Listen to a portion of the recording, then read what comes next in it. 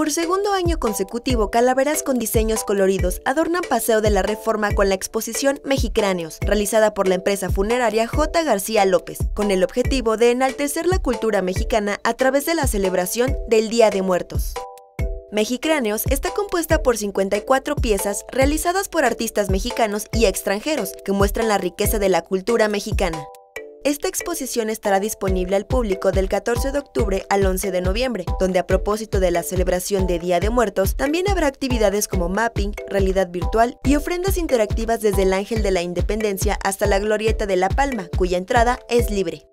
Además de mexicráneos, la gente también puede apreciar la muestra de alebrijes monumentales que llegaron a Paseo de la Reforma el pasado 20 de octubre durante un desfile organizado por el Museo de Arte Popular.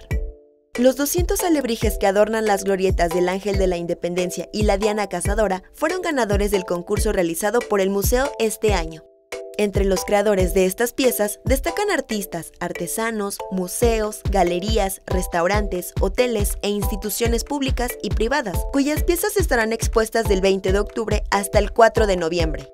Con información e imágenes de Miguel Torres e Ilse Quintana, Notimex.